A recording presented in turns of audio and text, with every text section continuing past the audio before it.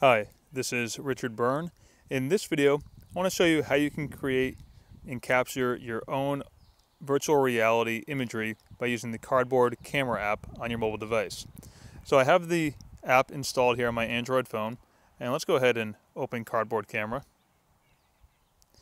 And now we'll capture. Now, what's important to note is that if you turn it sideways, or landscape mode, you're going to be prompted to turn it back into portrait mode. And so now I can capture everything that I see around me. And we're in my backyard and we're going to see imagery of my backyard. This is also capturing everything that I'm saying. So if you want to narrate, you can certainly do that. There's my daughter's pool. That's my neighbor. That's the remains of a foundation for an old barn. And we turn around this way.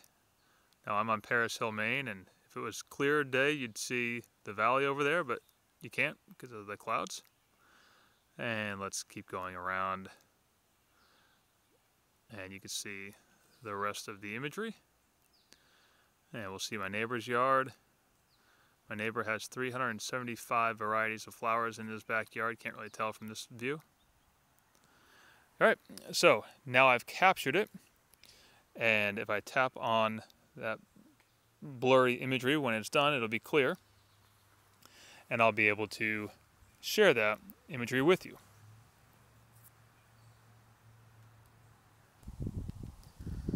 All right, so my new imagery is now processed. Let's tap on that.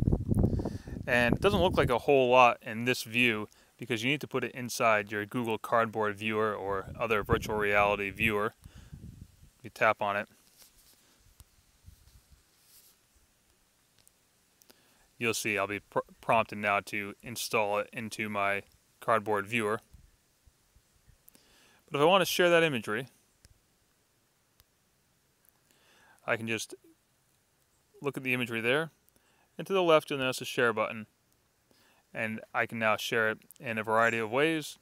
Copy the link, email it out, tweet it if I want to. Here, let's go ahead and tweet it.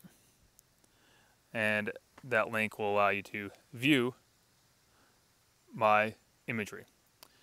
So that's how you can create your own virtual reality views using the Cardboard Camera app. As always, for more tips and tricks like this, please check out freetech4teachers.com and practicaledtech.com com.